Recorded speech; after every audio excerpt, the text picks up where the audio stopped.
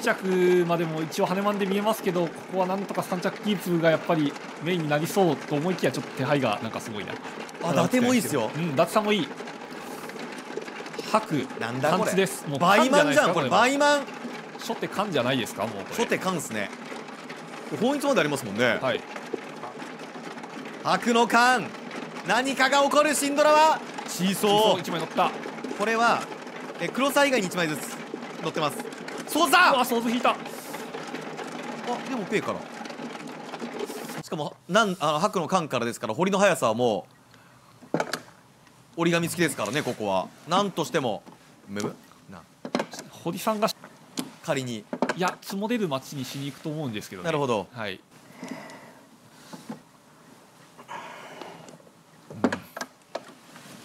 あ全然三蔵同窓あこれは？これは一旦チーピンですよね。はい。はい、天敗だ。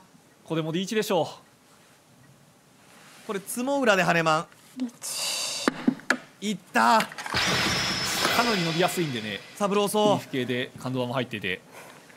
天敗。テンパイこれは？うわー。リャンゾー切ってこのまま行くか。これは運命のリーチ棒ですよ、はいリャンゾー切りダマリーチ三品切りの三択ですよねどうどうするどうする信号堀信号サブローソはちなみにローソーゼロで三層が2枚三品切りはちょっと時間ない気がするなでも行くのかなこれいくかもしれないいやめちゃくちゃ難しいです。リャンゾー切りダマだといい街に変えてリーチっていうイメージで。リャンソー切ったら闇点、いやそれもリーチもあります。リーチもありますね。リーチして羽マン狙いに行くもあるんで。三品触ってま三すよ品切りだともう本当にトップ率最優先って感じですよね。両面で、まあ、本一かはい。三品のくっつきの両面リーチっていう感じなんで。リャンゾー切りダマこれで後継を待ちたいと、はい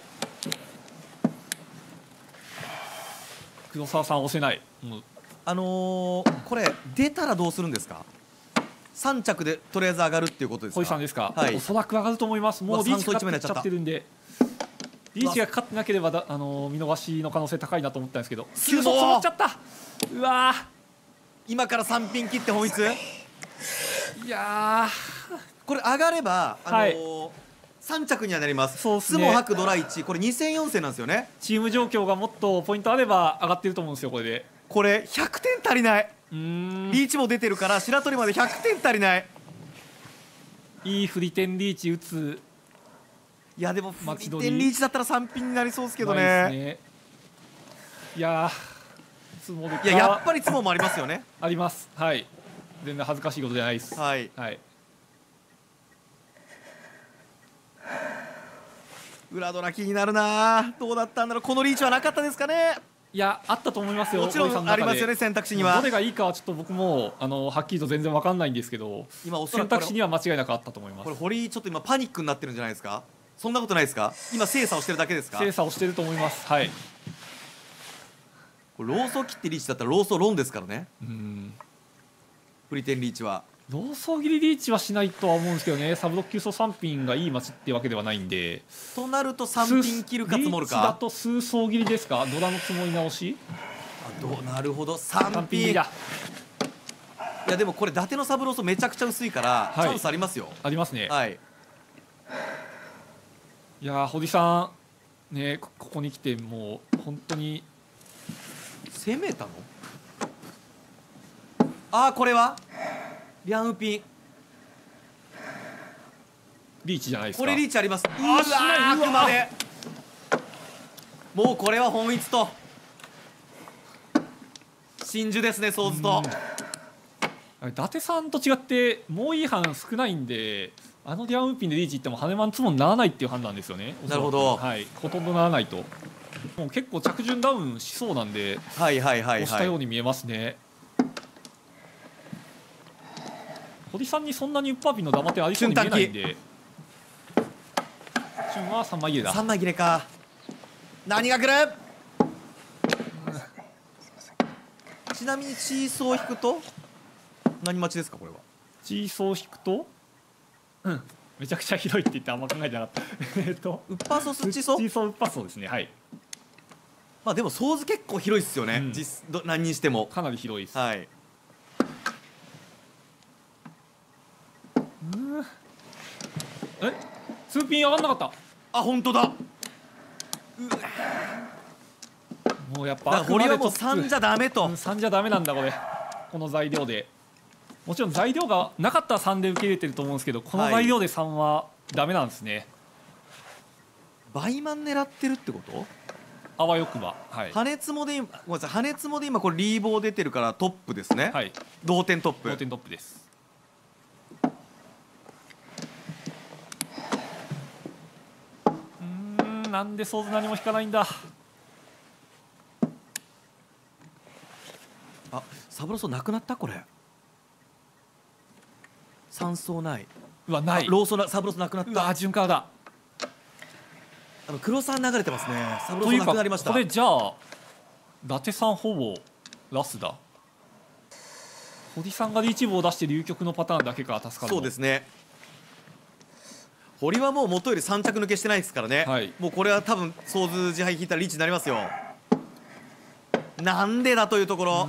いやでもね堀さんも本当の最後の方のテンパイはリーチ棒出さないと思うんですよねもう。なるほど。そろそろそんな順目に来てますね。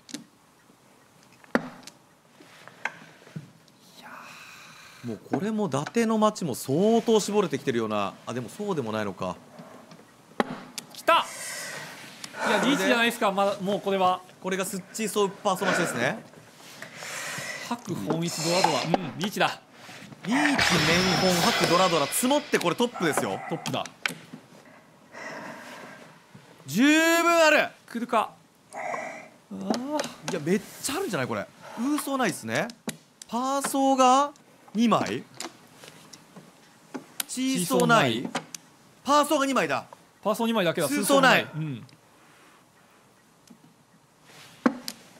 これ出上がって同点ですね黒がサーとあ違う出上がって逆転だ。最後？ダメ！いやでいやでもあ配点は？ない！ないか。そうかもうつもばない。伊あ達ーじゃあこれさんもないんだ。ホリラスになっちゃったリボー出したから。うわこれパーソー出上がってもーはい。伊達のリーチ棒あるから単独トップでしたよ。うわ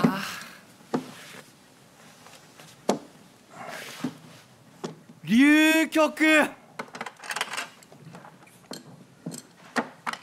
局どうですか？現実的に残り8000うんはい。マイナ130ぐらいでしたっけ？もうちょっと。うーんボーダーまで270、うん。まあただ270の狙いターゲットが3チームぐらいあるっていう感じで、大体いっぱいあみんなそうるからね、まあ、1チームちょこっと落ちてくることを願いつつそれぐらいは許していただいて。うん。我々はまあ200勝ったらどっか70ぐらい負けるでしょみたいな、そうだね、うん。感覚ですよね。うん。残り8000で200 4トップ。4トップ、ちょい。2着全部みたいな感じかな、うん、残り4000を。1日1勝最低。うん。1日10勝。うん。って考えるとやっぱ最後の堀さんの選択も、うん。もうトップがね相当必要な場面なんでまあそうですね。まあ下がもうもともと3か4の話だったんで、うんはい。そうね。それだったらあれが2だったらね、うん。継続のためにっていうのもあったかもしれないもんね、うんそれだったらちょっと、うん。はい賭けに入れた方がいいかなっていう感じだったんですけど結果はね失敗してしまったんで、まあでも3着取っててもね20ポイント少々だからあんまり状況変わってないですからね。そうね。トップ取ってればもう激変してたんで。そうですね。ナイスチャレンジでしょう本当に。うん、ドキドキしたからいいや。うん。はい。うんすいません。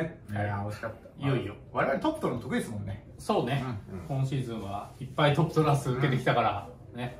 ここから3連勝っていうのも全然あると思うので。残り8戦トップ取りましょう。はい、はい1のラッシュしましょう。引き続き最後まで応援の方よろしくおはい願いします、もうね分かんないです正直。どちらがいいかとかは、まあ、僕の感覚的には多分3品を切った方が桜ナイツが、えーセミファイナルに行ける確率が高いだろうなと思った結果こうしたんですけど、うん、ただ分かんないですね、なぜ分かんないかというとこれあのねいやこれはさすがに上がった方がいいんじゃないとか上がらない方がいいんじゃないとか思う方いろいろいらっしゃると思うんですけどこれじゃあまあ分かるためにこれがね上がった方がいいよとか上がらない方がいいよって分かるためにはまずねはい。この3ピンを切った後にはい。僕がハネマンツモバイマンツモまたはバイマン出上がりうんうん。を達成できる確率がまず分かってないともう求められるわけがないですね。はいはいはい。はい、でなおかつそれだけじゃなくて、えーここから3ピン切って僕がラスった時のセミファイナルの通過率、はい、でここから3ピン切ったけど3着で残った時の通過率、はい、であとはこれを上がった時の通過率、うんとかもう全部数字を分かってないといけなあのもう絶対分かるわけがないんですよこんなの。うんうんまあ要は平面で考えることじゃないってことですよね。そうですね。ははい、これはねもうだからこれがもうこんなのさすがに上がった方がいいでしょとか、うんうん。これは上がらない方がいい絶対上がらない方が得でしょっていう方は、うんうん。もうねピタゴラスの末裔の方ですね。とかもうそういうレベル。本当に、まあまあめっちゃおるやん。数数数字の天才そういうだからもうそういうだからもうめちゃくちゃ。めっちゃおるやん、いや煽るとかじゃなくて、はいはい。まあ見たけどね、うん。いろいろツイッターでも。はいはいはいはい。うん、だからそういうね本当いたけど。にうん。しかも結構いたからな。うんどっちがいいとかあのやりすぎたなみたいな。しかもはいはい。結構な、うん。もうちょっとな何のネット麻雀かはまあもう言わないんですけど、うん。ネット麻雀何段みたいなね、はいはいはいはい。いましたけど、はいはいはい。うんすげえなって思いましたね、そうだからもう本当にはい。俺も感覚的にやっぱ3品なんだよな、うん。これは、いやー3品にまあしてね。うん。はいうんまあ分かんないですねこれに関しては。本当にあのすごくね数学者の方いたら教えてください、はい。数学者。いやだってこれはもう分からんから、うん。だってもうこれがそもそもさ3品が無筋じゃん。そうだよ。3品がロンって言われることもある中でこれがそもそも羽同点羽つもだとに、うん。あの同点、うん。同点トップでバイマン出上がりかバイツモだったら単独トップになるんだけど、その確率すらもわからない僕が、うん。そっからねこのセミファイナルどっちが通過率高いかなってもう分かるわけないんですよ。うんうん。うん、僕はね残念ながら数学者じゃないので、うん、なんでどうやって出すのそれ？いやわかんないです。だからもう感覚でしかない、まあそうだね。僕のも感覚なんで、うんうんで多分僕はこうした方がいいと思ったっていうことですね、はい